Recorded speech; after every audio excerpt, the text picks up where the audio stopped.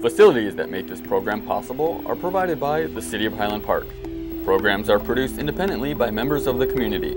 The City of Highland Park is not affiliated with the following program or the producers of public access programming and is not responsible for the content.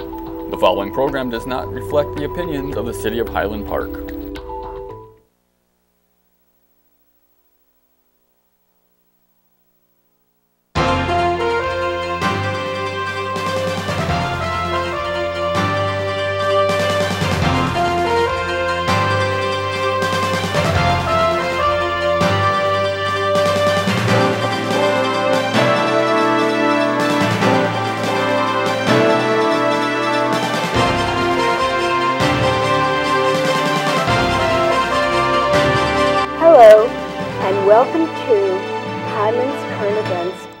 Roundtable.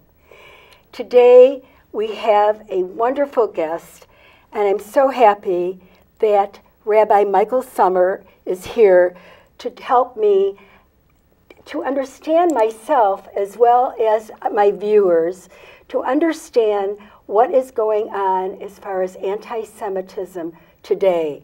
We're calling the show The Resurgence of Anti Semitism, and it is 2018. And uh, we're trying to figure out, or I'm trying to figure out, and I've talked to many other people, why today?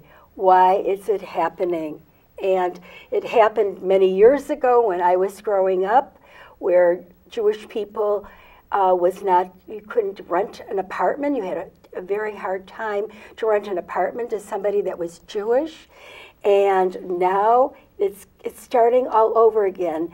And Rabbi, I know you don't consider yourself an expert, but I consider you more of an expert than most people. You are a rabbi, and I'm really happy that you're here today. Welcome. Well, Suzanne, thank you so much for having me today. So maybe you're here to answer, and I know you're here to answer many questions, and I wrote a few questions down, and I want I want you to address them because I think it's very important to really understand what is happening. So maybe you need to answer this question Where do you see the resurgence of anti Semitism in America coming from? You see a lot of sentiment uh, rising due to the perceived immigration problems. You see people feeling like they're losing their sense of national identity, like they're losing their country.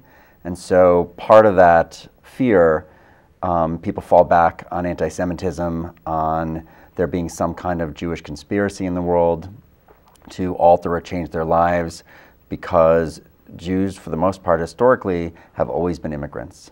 So you see it in the Great uh, Dispersion. Uh, when Rome destroyed the temple in Jerusalem in 70, um, Jews are dispersed even further throughout the world. And so for centuries, we were always the stranger in countries and in cities and seen as other. And so you have a lot of that passed down historically as Jews being seen as the outsider. And so there are many within the world that still see the Jewish people as outsiders and as the cause of their problems.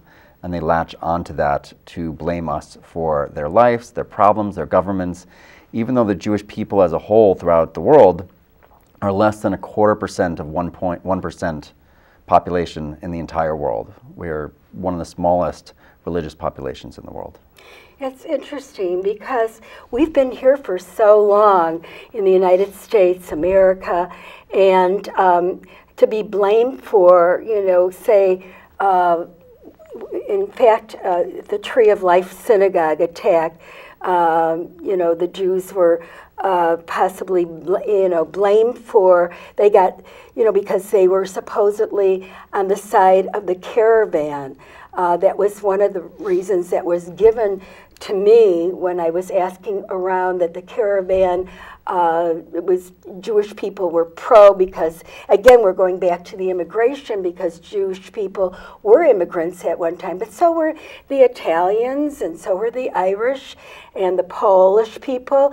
Um, why why is it thrown back on the the Jews? Uh, you know uh, why you know first of all I, you see I see Jewish maybe people see Jews as a national uh, nationalism or or Jewish is a religion, but you know, why are we given that identity? Why is it that, you know, no one else is blamed for it except the Jewish people? Because we're more we were we're, we weren't the only immigrants around. Because Jews have suffered persecution throughout history, we are often the loudest voice in open societies where you can protest um, a lack of equal rights or discrimination. So in America, Jews have often been at the forefront of movements towards ending some kind of discrimination. You see uh, major rabbis and Jews that marched with Martin Luther King Jr. for the civil rights movement. You see us advocating for tolerance and acceptance of all lifestyles, and you see us in equality of marriage. And so, anyone who sees that as a push against or a degradation of their beliefs or their religion sees the Jews as the destroyers of their of what they imagine America to be. Now, do you see the Jewish people that when when they when they criticize Israel, is Israel being criticized uh, because it's a it's a country? Uh, people are criticizing the country, or are they criticizing Jews? Uh, is there anti is anti-Semitism and anti-Israel the same, or is it separate? Part of it is the same. The anti Israel, anti Zionism is a, a new form of anti Semitism where people try to say that I'm not an anti Semite, I'm just against Israel and Israel's policies when it comes to the Palestinian people. And they create, Hezbollah and Hamas have created a, a large amount of propaganda to make the Palestinians look like the Davids of history and Israel to look like the Goliath of history. And they fail to show how much violence has come out of Palestine, how the PLO was a leading terrorist organization in the 1970s, how Israel, um, starting with the Oslo Accord, was working towards peace and working towards making sure the territories were viable for the Palestinian people, and they it's, it's not shown in the education like within this propaganda movement that the Palestinian government, that uh, Hamas and Hezbollah are um, not holding up their end of the peace agreement. So you get this anti Israel and anti Zionist rhetoric as if we're to blame for the plight of the Palestinians, and it completely avoids talking about how their government has used the people as shields. exactly, because we were talking today at the Bluegrass restaurant, um, my favorite restaurant. Um, we were talking today about the United Nations and how they uh, they blame the uh, uh, Uh, the human rights violations in Israel, yet China has the most human rights violations of any country, one of the most of most countries is China. And of course, they're not talking about China, they're not talking about Saudi Arabia, that also has human rights violations, and other Middle Eastern countries. Yet they continue to dwell on Israel being apartheid nation and the BDS movement, which is boycott, divestment, and sanction Israel. And you know, every, it seems like the Jews are always to blame, Israel is always to blame. Why is it? I mean, why can't, I mean, this is, you said this happened so many years ago, and it's coming back to haunt us again. With the United Nations, you have all the Muslim countries vote as a bloc. So Israel is always cited for human rights violations and none of the Muslim countries are cited for human rights violations, or larger but countries. There's so many of them there. There's there's so many violations, but they're not held up. So when you can have that many countries vote against one democratic country that happens to be the only Jewish country in the world, where every citizen can vote, no matter what your religion, what your nationality. If you are an Israeli citizen, you have a vote. You have incredible uh, women's rights um, and equality for all humans who are considered Israeli citizens. When you have that many countries can, that can vote against the one democratic country in the Middle East, they can say whatever they want. But this is hitting the United States. You by by them, uh, the United Nations and attacking Israel. I think this.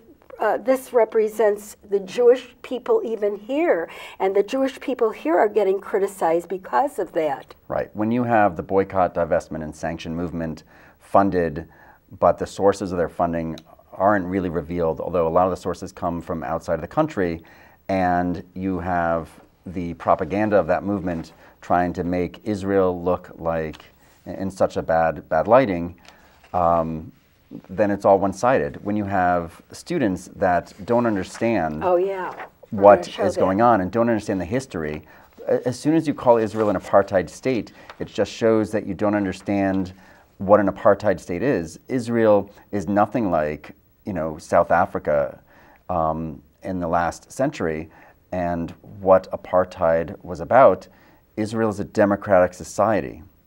All we're asking for is that the Palestinian government put down all weapons and stop the violence in Israel so that we can create a real peace. But you have a country and a government that, in their bylaws, is the complete destruction of Israel.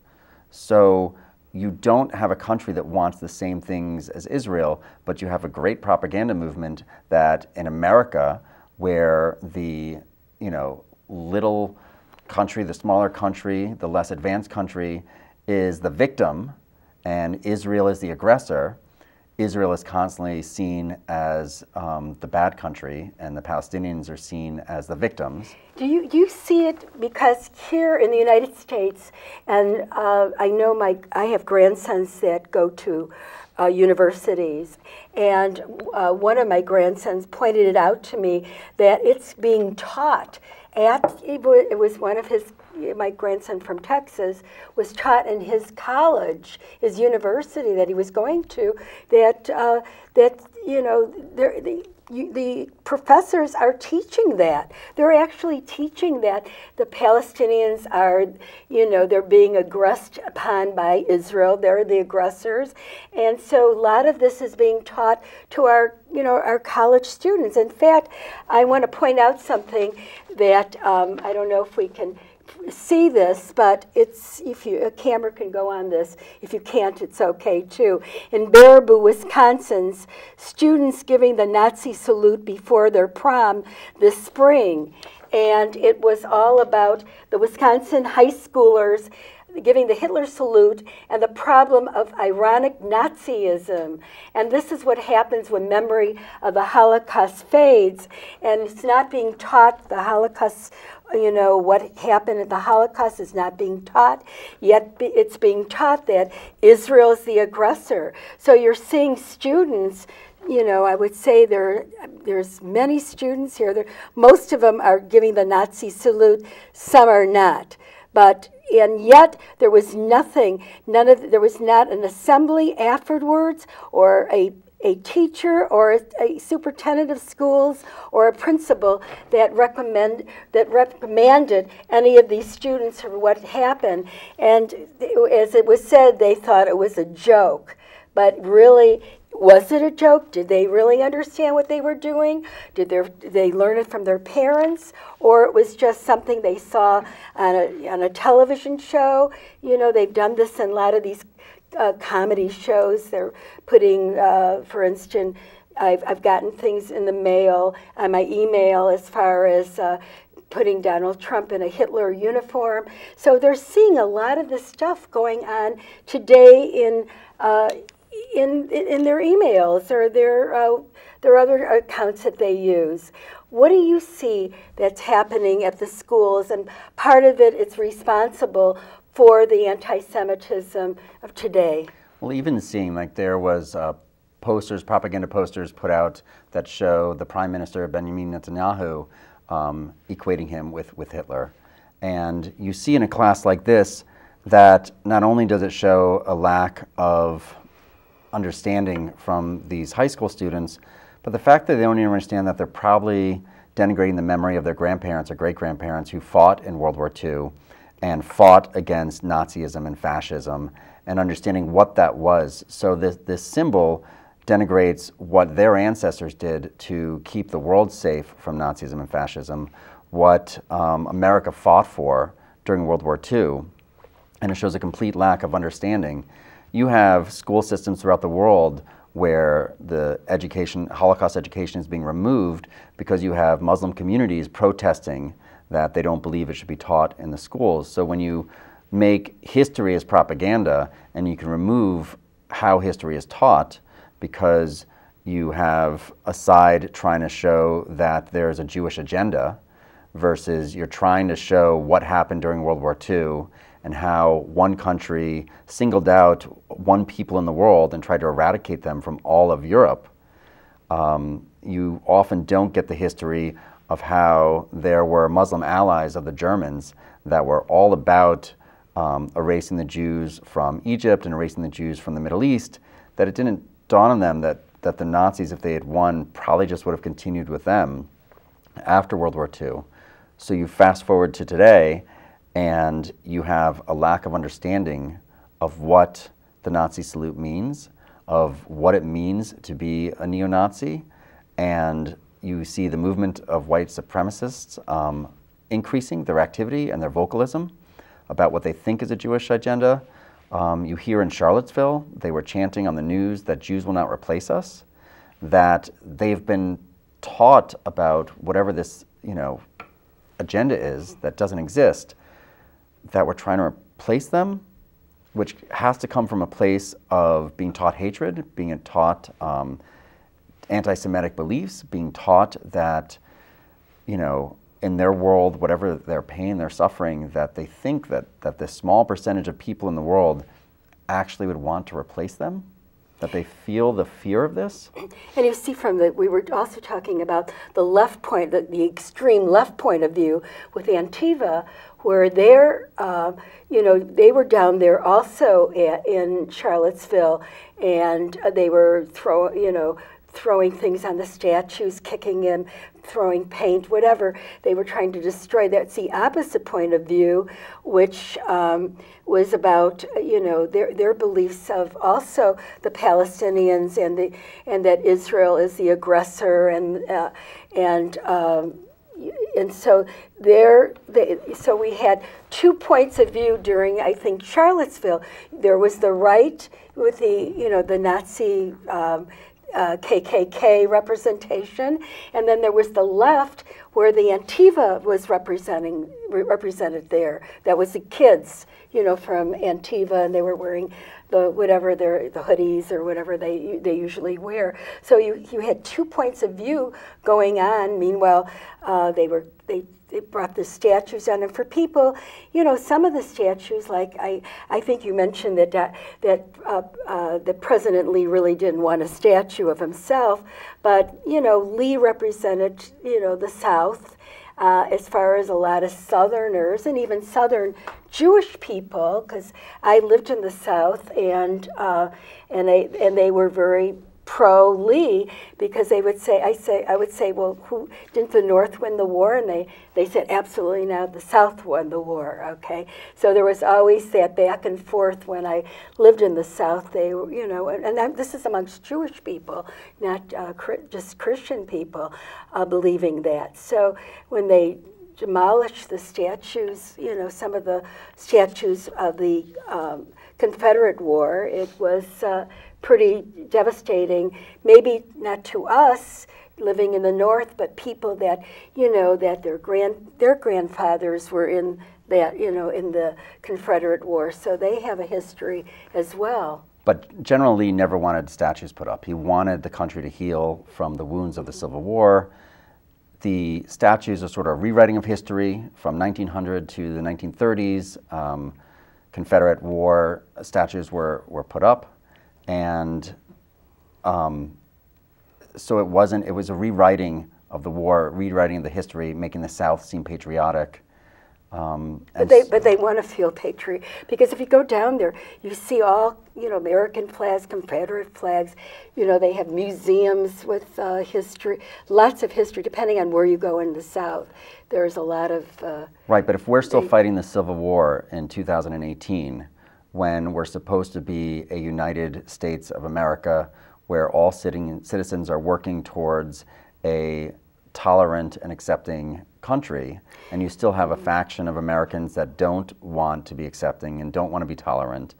Um, the use of the Civil War statues that they don't know the history that, that they were put up way after the Civil War. Mm-hmm. Um, and again, if you have General Lee not want statues of himself, if you have someone who fought in the war, saw the worst of the war, and wanted the country to be able to heal, and that we're still not healed in 2018, then you have a continuation of sort of false histories being taught to individuals who think that this nation was theirs, right? If you ask any of the First Nations the amount of pain that they suffered from the immigrants from other countries coming in and appropriating the United States of America, the United States of America was always a melting pot. Like there were always um, many different races and colors living in this country. It's, it's not the way they see it in their minds and what they've been taught with their. I guess we're still fighting a little bit of the Civil War in, in Charlottesville. I think that's probably what, what happened. Um, you know, the, the, the, ones that wanted to take it down felt the, the way you're describing it, and other ones, but they took it down the wrong way. What I think they should have done, maybe removed them and put them in a museum or in a, an historical museum of some kind, rather than demolish them. They were a piece of art. I mean, as far as somebody made them and casted them and with a lot of work doing them. You know, if you want to put down history instead of just you know, taking and crashing them down and, and, and, and doing such damage to them, they could have been removed to a, right. historical site. And I think, you know, you mentioned the anti-fascist movement, um, and you mentioned them both being in Charlotte, but the when you when the argument is in yelling and rhetoric, it's one thing. When it gets to violence, and when you have one side drive a car into the middle of a protest and, and kill someone just because they hold opposing views, our country is supposed to be a place where you can have opposing views and it doesn't lead to violence. When you have any side getting to violence and yeah. you have one side, you know, the fascist movement, the white supremacist movement want to get to violence because you can't, this country's not going to go back ever to a predominantly white country. Their fear of their existence, no one is really coming after their existence or their way of life, but it's this fear as if the cities, the, the cities where there's such diversity and when there's a greater population, um, are trying to change their lives where they live. But I see, but I see this as younger people. It isn't our age group that's doing it. It's a younger, it's a younger group, and I think it goes back. I think we started talking about the school system and what they're getting taught in colleges, and I think a lot of this goes back to going back to the schools. These kids are uh, not getting taught the right thing. They're not understanding what's happening. They think, you know, taking down statues, um, protesting. Uh, I, I, know we have we have the First Amendment, which is um, which is the First Amendment. Uh, you know that we have the right the right to free speech. Free speech, mm-hmm. right? Thank you. Uh, but what is free speech? Is it to hurt other people? Is it to make people feel bad about who they are? What is free speech? And I think some of these schools are not teaching, going back to Charlottesville, what are they teaching in Charlottesville? What are they teaching the students there that, that did so much damage? What are they teaching at, what are they teaching around the, you know, the Tree of Life Synagogue and what was going around there? What is, why isn't it not being addressed in elementary school, high school, and especially the colleges with professors that are putting down uh, Israel? I mean, in University of California, Berkeley right now, you have a professor who's teaching how to erase Israel. And you, in Charlottesville, I'm not sure it's the, the teachers teaching it. A lot of people came in from outside of Charlottesville to protest the removal of the statue you often have a lot of people coming from outside. But they're um, younger people. They're younger people. You, you most see, of them. You see it of all age. Like yes, like they're they're young, but even the fact, I think, most of all, what a lot of these protests have shown is how much division there is in the country right now. And who's sponsoring this?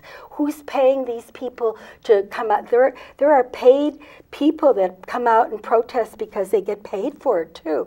So who's sponsoring a lot of these these groups? You know, some of them are. Some of these kids are coming out by themselves because they see it happening and they're just joining. But there are a lot of paid people that are, you know, protesting because they're getting paid to do it, and that's not being addressed. Who's sponsoring all this this damage and protests and you know uh, First Amendment screaming yelling and you know tearing down different religions and faiths and uh, you know who's and and races who is doing this See, that's really important to address too, because I don't know. I personally don't know. But there are people that are doing this, probably people our age that are encouraging, you know, uh, I'm sure it's somebody that's older that's doing that, somebody that has the money to do so.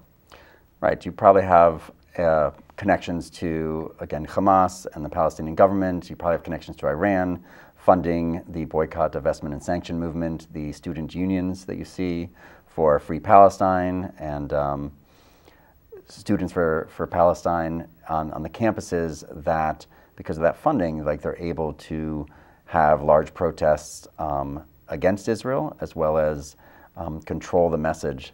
And once you can take that message and spread it to people who have no idea about the history, who are just freshmen on campus or have never been to college before, and you convince them that you know the, the small country is the victim and the big country is the aggressor. Israel suffered over 400 rocket attacks in mm. the last month. Right, right. And didn't go to war. If you know Wisconsin, the state of Wisconsin, fired 400 rockets into Illinois, I don't think we'd be sitting here calmly by right now mm-hmm. if any country did that. God forbid another country on any of the borders of America shot 400 rockets right. into America, we would not be exactly. sitting idly by. But Israel is seen as the aggressor, and the anti-Israel, anti-Zionist rhetoric um, that comes across as the sort of this new anti-Semitism overlooks that.